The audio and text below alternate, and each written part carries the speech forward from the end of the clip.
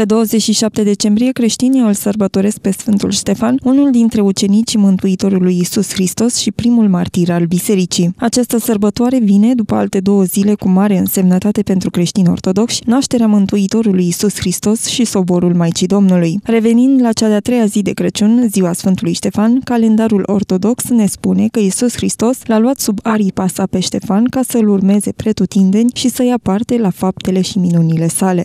Pentru noi, Sfântul Arhidiacon Ștefan reprezintă un uh, model de dăruire, de dragoste față de Hristos și de slujire.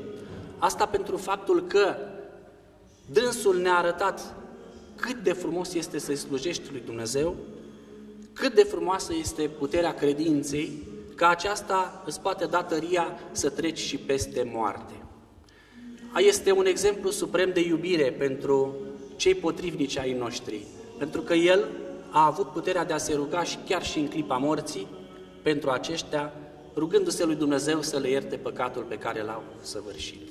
Sfântul Arhidiacon Ștefan, modelul suprem de slujire și de, de dăruire pentru Hristos.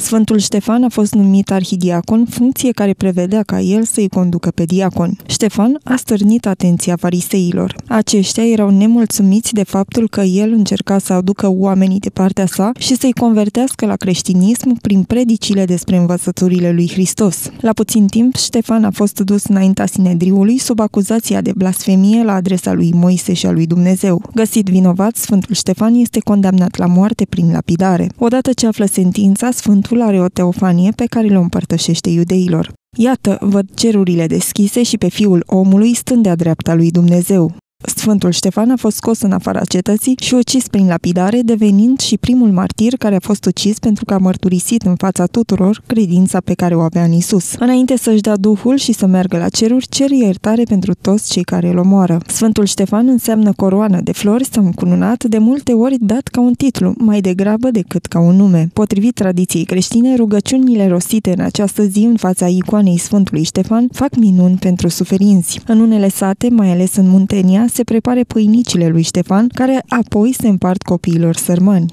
Dintr-un aluat asemănător cu cel de cozonac, unse cu miere, se fac pâinici în forme rotunde. Aceste dulciuri, care amintesc de pietrele care l-au ucis pe Sfântul Ștefan, se sfințesc la biserică în ziua praznicului. Explică specialiștii în etnografie și folclor de la Muzeul Dunării de Jos din Călăraș. Pe 27 decembrie, creștinii trebuie să ducă icoana mucenicului martir Ștefan la biserică pentru a fi sfințită, apoi să o așeze pe un perete din casă. Se spune că Sfântul îi va ajuta pe cei care se luptă cu boala să se însănătoșească, iar pe cei care au conflicte cu oameni orgolioși îi va îndruma ca să poată face pace.